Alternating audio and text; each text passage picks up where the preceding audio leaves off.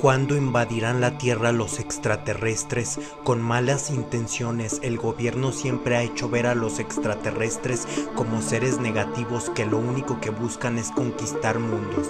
No es un secreto que el gobierno paga dinero a las industrias cinematográficas de Hollywood para que meta este tipo de ideas en las personas, porque los extraterrestres son todo lo contrario. Ellos son buenos y buscan la paz, el avance, y alguna vez fueron como nosotros pero se desarrollaron espiritualmente.